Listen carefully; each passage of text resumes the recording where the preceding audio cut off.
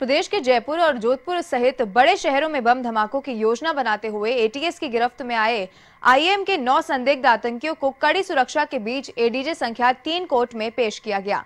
सोमवार को इन मामले के पाँच संदिग्ध आतंकियों की ओर से नए वकालतनामे पेश किए गए। वहीं मामले में गवाह और प्रतापनगर थाने के तत्कालीन थानाधिकार भी उपस्थित नहीं रहे। जिससे मामले में सुनवाई आगे नहीं बढ़ पाई है। इस पर अदालत ने आगामी सुनवाई पर सभी आरोपियों और गवाह को मौजूद रहने के आदेश दिए हैं।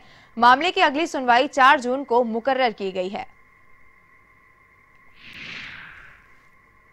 इंडियन मुजाहिदीन के संदिग्ध आतंकियों को आज एटीएस द्वारा कोर्ट में पेश किया गया। कुल 12 संदिग्ध आतंकियों में से नौ को पेश किया गया। तीन को पेश नहीं किया गया, जिसे आइंदा पेशी पर आवश्यक रूप से पेश करने के आदेश कोर्ट द्वारा दिए गए हैं। आइंदा पेशी चार छह दो हज़ार उन्नीस को रखी गई है। इसमें विदेश ड्यूटी के बयान किए जाने हैं।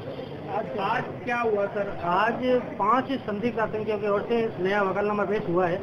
नया वकालनामा पेश होने की वजह से उनसे आज ज़िले नहीं हो पाई। आइंदा ज़िले